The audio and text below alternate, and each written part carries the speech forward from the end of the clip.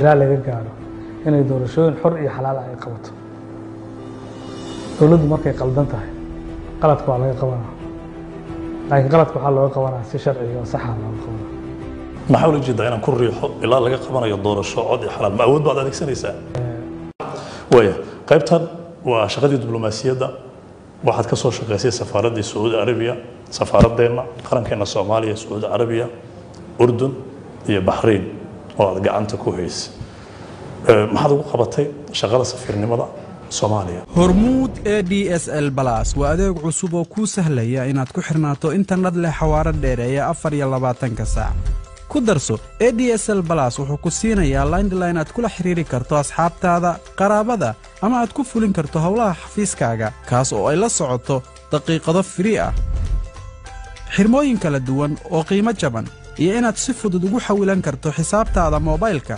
Waa qaar ka mid ah faa'iidooyinka adeegga internetka hormuud ee e d s l balas guriga xafiiska ama xarunta shirkaddaada isticmaal e d s l balas oo ku xirnow dunida.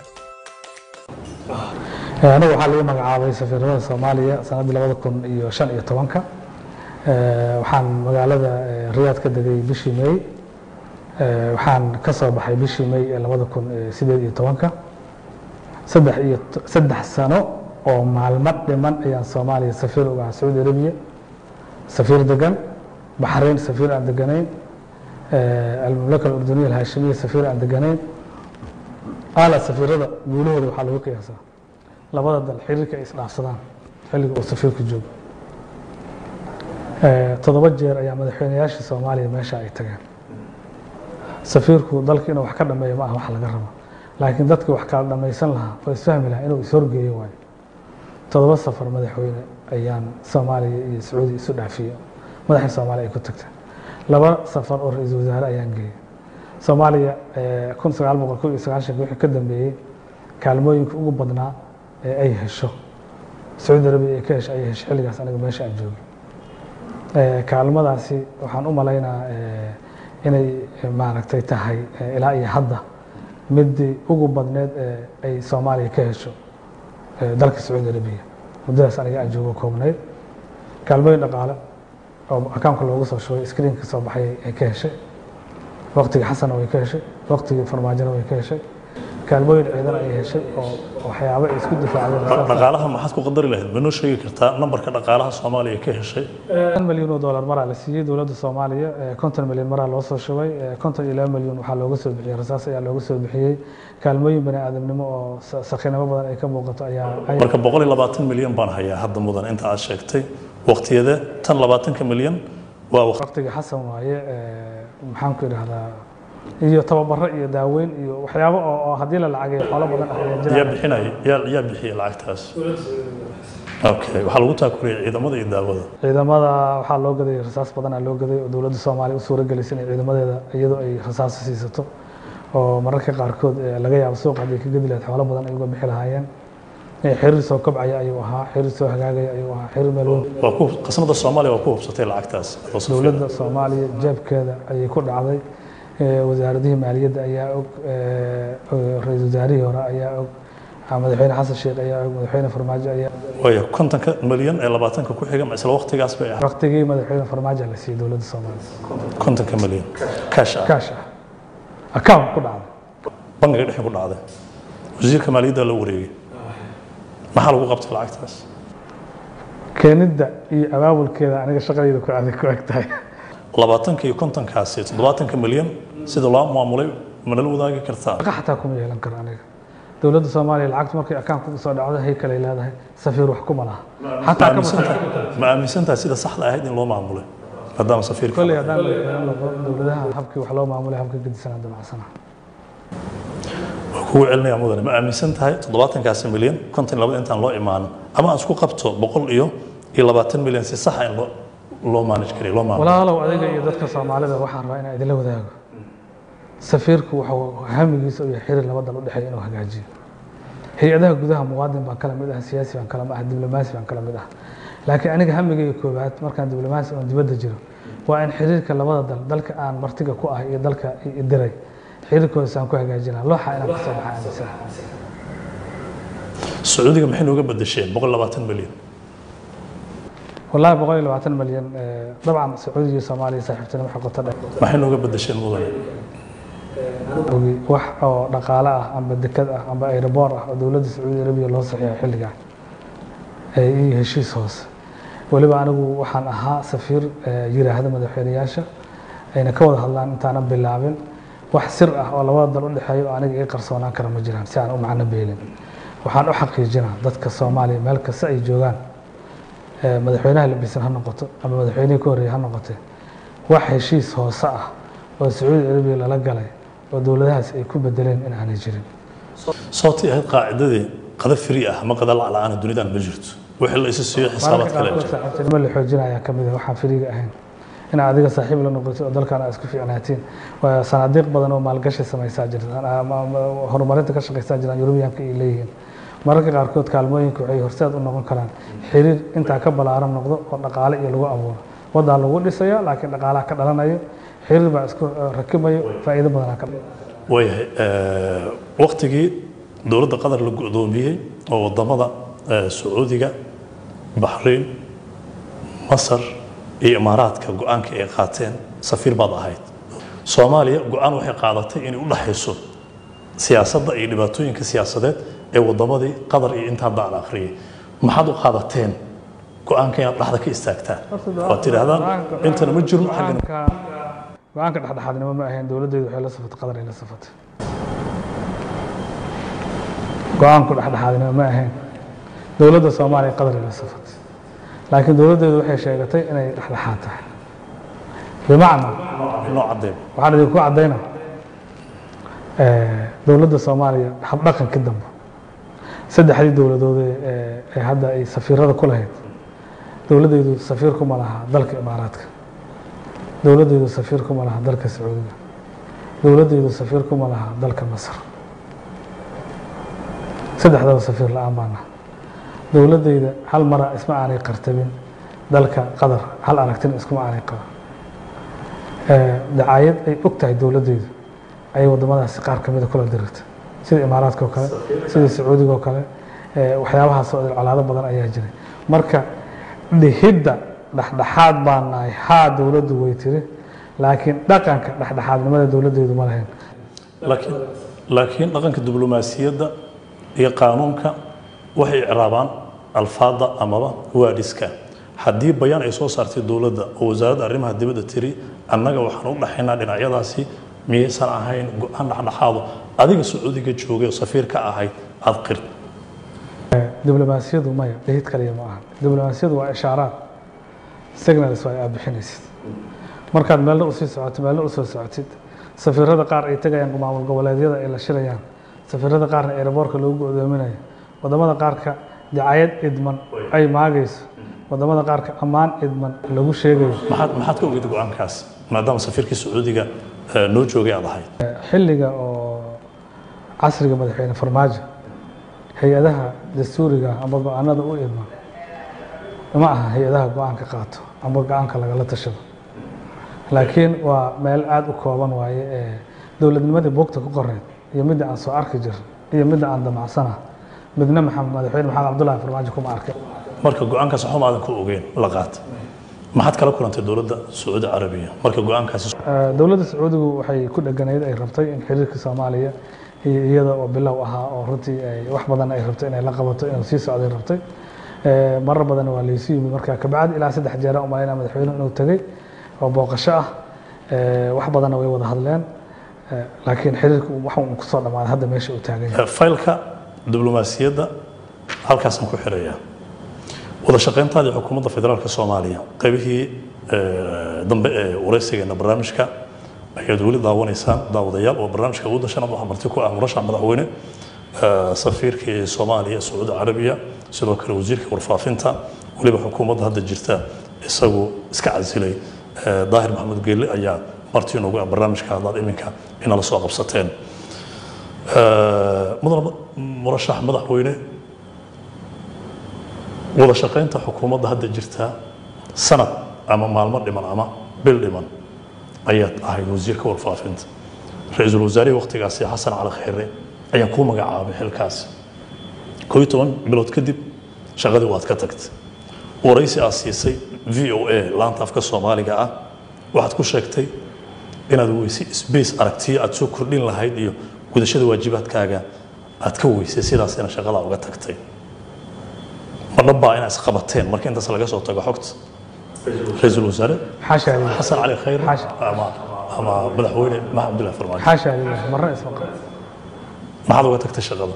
Waxaan uga tegay shaqada anigu magac sooma doonan laakiin waxaan soo doontay space ah, hibadeyda iyo tayadeyda iyo aqoonteyda iyo waxqabadkayga aan ku muujiyo levelka wasaaradda waa ii furneed oo dib u dayactirka iyo isku dubaridka iyo habeyntii iyo massageka dowladdan qurxiyo ayay ahayd taas waana ku guuleysay waana haystay. Laakiin golaha wasiirada kaalinta aan ku lahaa iyo ka safiir nin ahaa baan ahaa qof aqoon-yahana baan ahaa kaalinta aan ku yeelan lahaa siyaasadda soomaaliya guud ahaan ge- geedi socodkeeda iyo nidaamka ay tahay spacekaas ayaan jirin golaha wasiiro golaha wasiiro oo waxaan imid awooddii dastuurku siinayay oo sooyaalku siinaya aan lahayn. Sidaas daraaddeed ayaa waxaan dareemay in waxa xilka aan ku magacaabanahay oo inaan xubin ka ahay golaha wasiirada ah iyo awoodda aan leeyahay aanay islahayn maxay kula tahay in waajibaadka dastuuriga u ogolaanayay inay adeegsadaan awooddooda awooddooda inay adeegsadaan waxa waaye eh, aad iyo aad ay su'aashaas u tahay soomaaliya iyo maqal madaxweyne soomaaliya hal warqadow maagaa waa midda ra'iisul wasaaraha uu ku magacaabayo inta kale golaha wasiirada ka yimaadeen.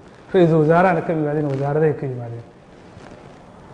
Waxyaabihii golaha wasiiradu ay wada lahaayeen ayaa waxaa dhacaysay in madaxtooyada inta lagu soo koriyo loo keeno oo meel laga xalaalaynayo ay noqoto. Oo xataa ay gabaan filtrationka inay kala saaraan waxyaabaha qaarkood. Hal shay hal soo jeedin oo madaxweynaha xaggiisa ka timi ama rabitaankiisa oo golaha wasiiradu ay celiyeen ma jirin. Madaxweynuhuna nabi maahan waana qaldami kariyaa waana saxnaan kariyaa. Sidaas daraaddeed inbutka ay wasiiradu ku leeyihiin ayaa wuxuu ahaa wax aad iyo aad iyo aad u yar. Sidaas daraaddeed waxaan isku mashquuliyey markaan imid amba xagga ra'iisul wasaare ha noqoto amba xagga madaxweyne ha noqotee inaan afkaaro isdaba joog ah iyo ra'yi isdaba joog ah oo siyaasado badan lagu saxaya inaan la socodsiiyo oo aan la wada ma la fariisatay madaxweynaha? Saa ma la wadaagtay madaxweynaha? Ma la wadaagtay madaxweynaha lilah aad mar iyo labo iyo saddex ma marka waxaa ii muuqatay dowladda inay meel ku socoto muxuu kugu jawaabay mudane madaxweynaha muxuu ku yidhi. Madaxweynuhu waxyaabaha qaarkood jawaab sariixa ma bixiyo laakiin ma yeelo. Marka jawaabo badan oo maaragtay eh, maxaan ku idhahdaa haddana waxaa ii soo muuqatay eh, afarti shay oon markii dambe sheegay oo adigu laga yaabo inaadan eh, weli- aadan u sheegin dadkaaga laakiin inay maqleen laga yaabo eh, dowladdu inay u soo muuqato inay samay rabto. Maalan waxaa ii muuqata dowladdu inay guluf qaadi rabto oo maamul goboleedyada la diri rabto. Dagaal soomaali dhexdeeda ah xataa mid siyaasadeed ha noqdo inaan qayb ka noqdo ma rabo waxaa ii muuqata dowladdu siyaasiyiinta dalka la joogta inay rabto inay ka adkaatay baabi'iso ay guluf qaadi rabto. Aniga qofkan shariiga la ahay oo siyaasadda ila leh qofkan dilaya inuu noqdo ma rabin. Dowlad dilaysa inaan qayb ka noqdona ma rabin dowladdu waxaa ii muuqata inay warbaahinta rabto inay caburiso anigana warbaahinta gaarka waxna waan ku lahaa waxna waan ku leeyahay. Inay jirtana waan rabaa. In la caburiyo ama la baabiyana raalli kama ahayn. Dowladdu waxaa ii muuqata siyaasad arrimo dibadeed oo danta soomaaliya marka dambe la fahmi doono inay dhaawacday inay guluf ugu jirto. Arrimaha idilaan diidanaa inaan ka noqdo siyaasad aana waafaqsayn afartaa qodobaan kaga dhaqaaqa aniga. Dabcan qodob aana markaas sheegin oo aan ka leexleexanaya ayaa jiro oo aan isiri si kale ayaan loo qaadan arrimaha amniga ah waayo amniga eh, gabdho iyo wiilal soomaaliyeed ah aagga taagan naftooda ku waayo ku dhaawacmo. Habka loo hogaaminaa waa ila qaldan yahay. Siyaasadda lagu hogaaminaana waa ila qaldan tahay. Laakiin iyagu waa ila quman yihiin.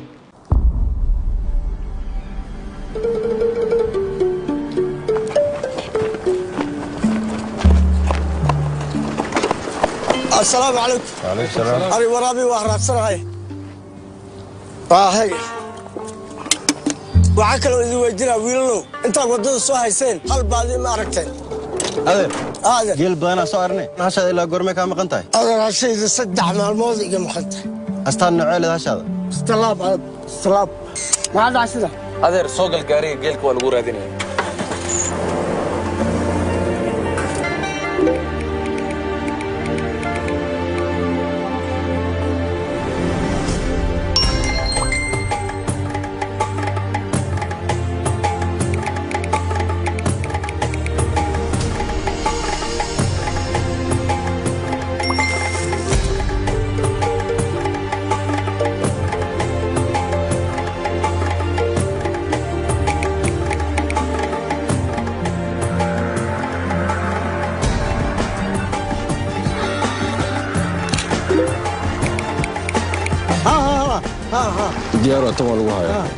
waay hadda dhegdheg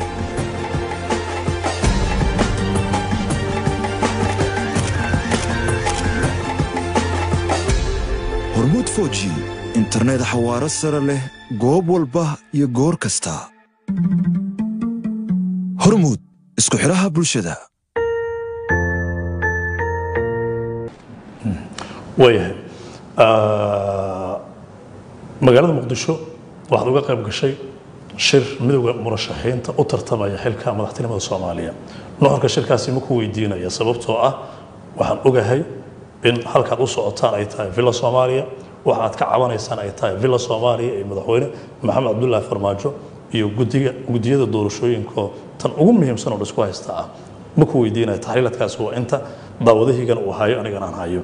Ka warrama haddii dowladdu ku adkaysato sida hadda ay wax wado aniga qof ahaan waxaa iga go-an inaan dowladda soomaaliya ku riixno ilaa laga gaaro inay doorashooyin xor iyo xalaal ay qabato.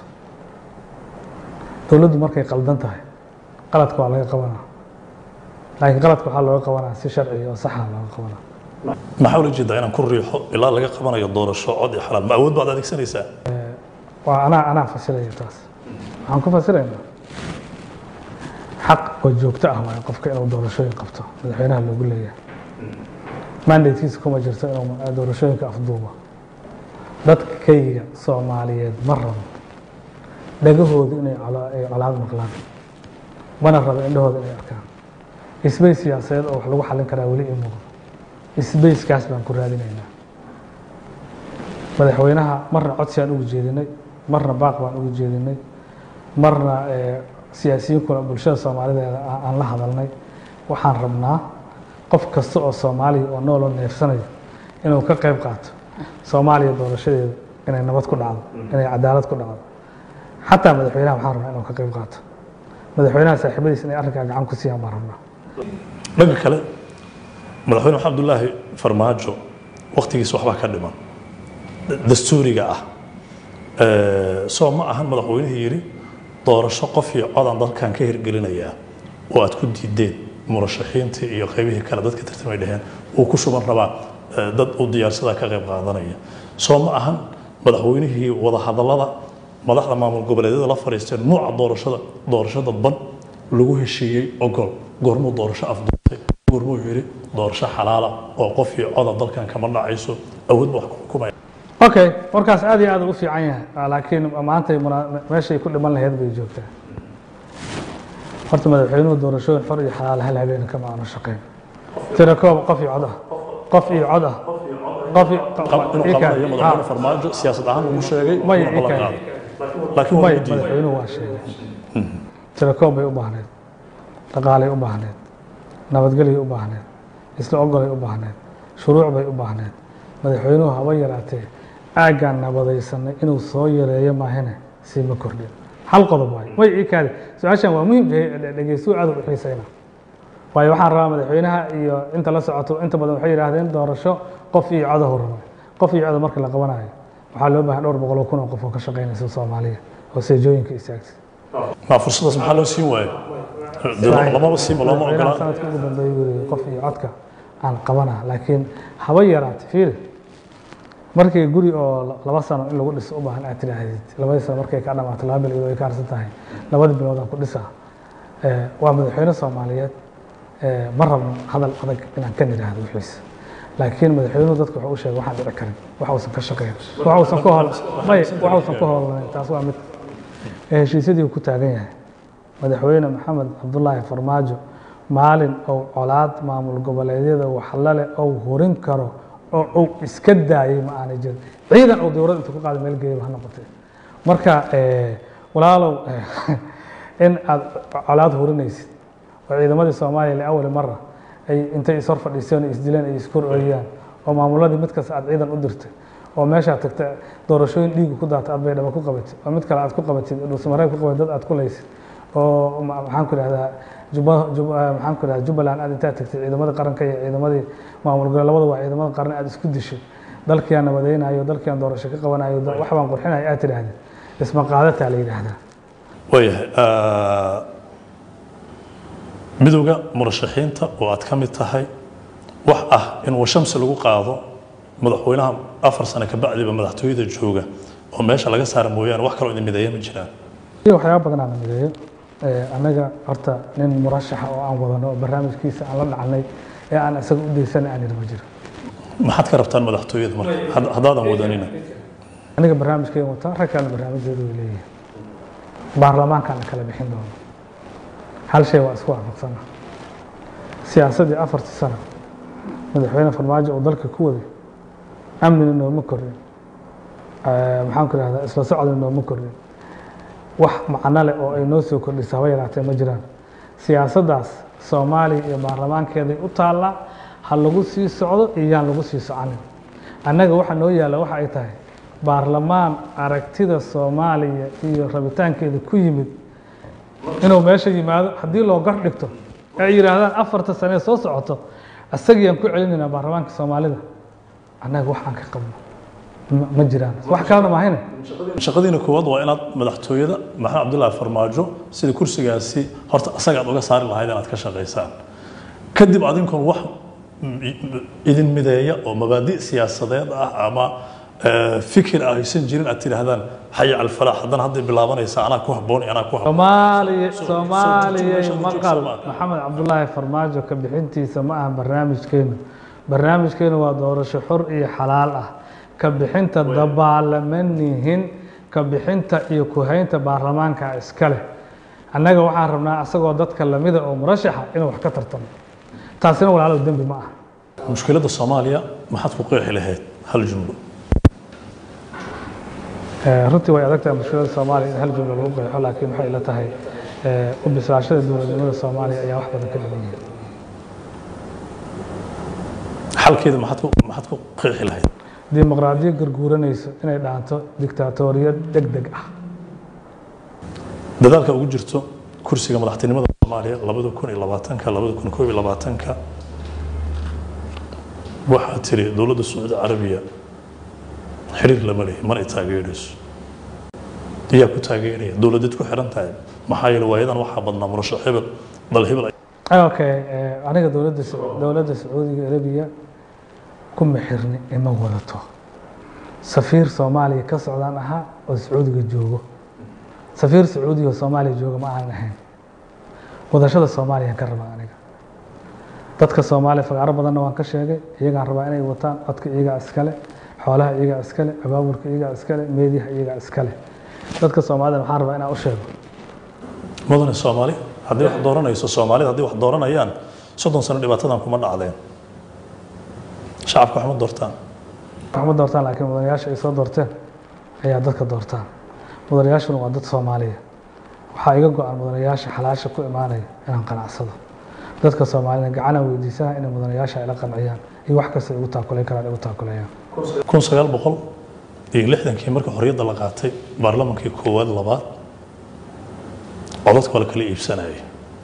Waxay ku qoran tahay buugga road to the zero in mudanaha la siinayay lacag toban kun oo shilin soomaali ah. Shan iyo toban kun oo doolar u dhiganta calaa cod.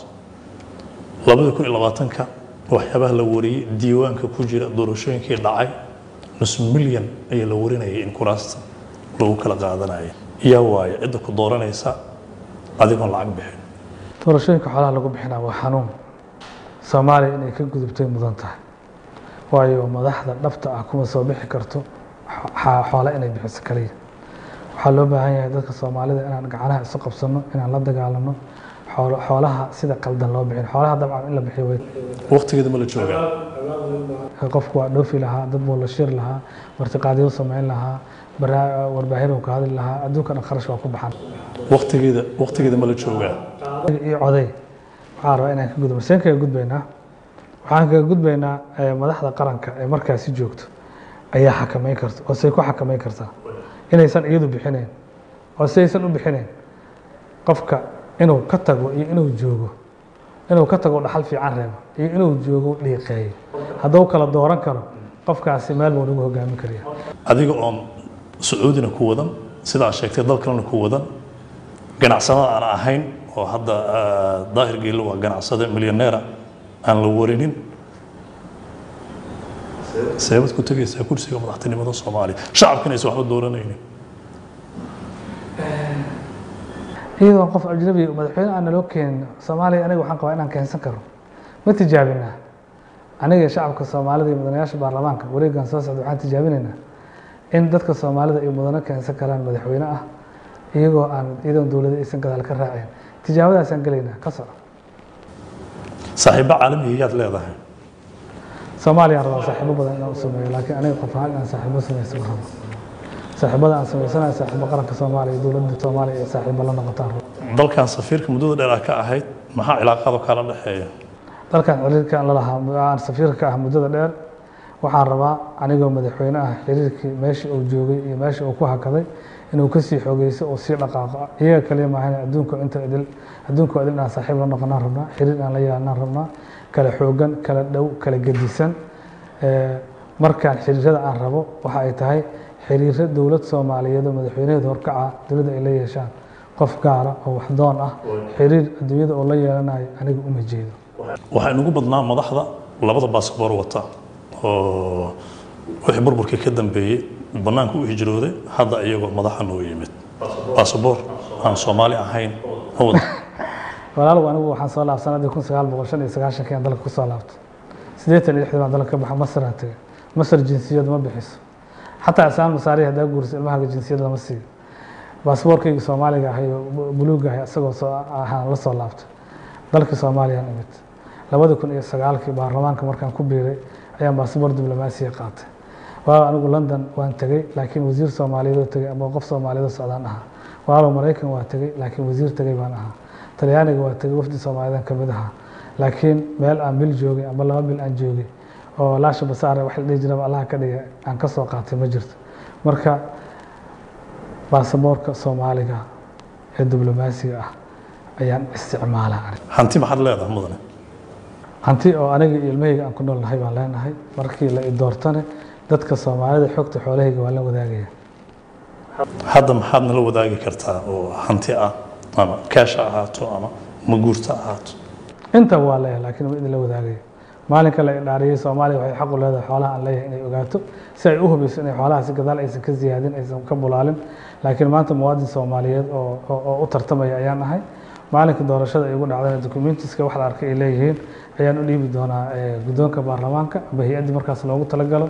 Maalinka aan ka degayana xoolahayga inaysan bararin aysan dilaacin ayaa la iga rabaa inaan buruuf garayo laakiin hadda cid xaq iyo weli ma jirto xoolaha aan leeyahay inay ay ogaato daahir maxamuud geelle murashax madaxweyne safiir hore wasiir hore aad baad u mahadsan tahay inaad karti iyo dulqaad u yeelatay barnaamijkeenna awoodda shanaad aad bay noo farxad gelinaysaa aadaa u mahadsan tihiin soomaaliya waa salaaman tihiin runaan idiin sheegay yutuubyada iyo haddaa gashaan labaatankii sane ugu dambeysay waraysyada laiga qaaday iyo qoraaladii laiga sameeyey qoraaladii aan sameeyey midka laiga sameeyey lama rabe hal shay oo aan ka cudur daaranayo ma laha. Dib waa u fasiri karaa dib u noqosho ma aaminsanin waa mahadsantihiin intaa ayaan daawadayaal ku soo gebagabeynaya barnaamijkii awoodda shanaad oo toddobaadkan marti inoogu ahaa. Murashax madaxweyne daahir maxamuud geelle oo wasiir warfaafin iyo weliba dhanka diblomaasiyadda safiir soo noqday. Aad baad ugu mahadsan tihiin barnaamijkeennan inaad nala daawateen oo aad nala joogteen inta waraysiga uu socday. Barnaamijka la mid ah intaynu dib ugu kulmayno sidaa iyo nabadgelyo hormuud e d s l balas waa adeeg cusub oo kuu sahlaya inaad ku xirnaato internet leh xawaaro dheereeya afar iyo labaatanka saac. Ku darso e d s l balas wuxuu ku siinayaa laindline aad kula xidhiiri karto asxaabtaada qaraabada ama aad ku fulin karto howlaha xafiiskaaga kaas oo ay la socoto daqiiqado firii ah. Xirmooyin kala duwan oo qiimo jaban iyo inaad si fudud ugu xawilan karto xisaabtaada moobaylka waa qaar ka mid a faa'iidooyinka adeegga internetka hormuud ee e d s l balas guriga xafiiska ama xarunta shirkaddaada.